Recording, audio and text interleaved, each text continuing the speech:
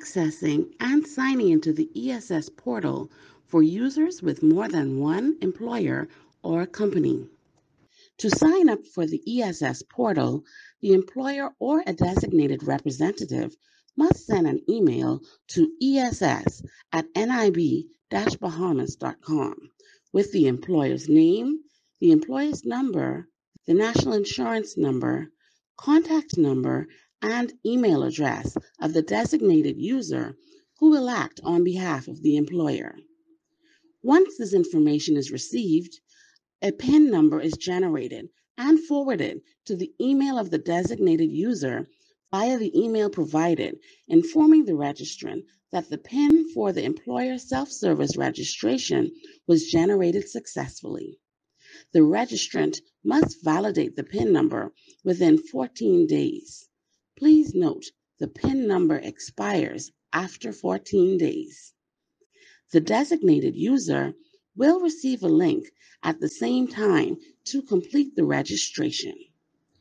Once the user accesses the link, registrant.nib-bahamas.com, it will take the user through several self-explanatory instructions. The user follows the instructions and completes the required information on the pop-up screens.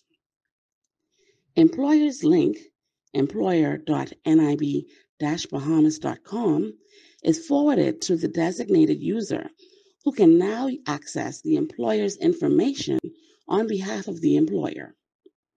Once you have obtained an administrative account from NIB, enter your user ID and password as shown below. Press the Log On button. Click the Accept button once you agree with the terms of service.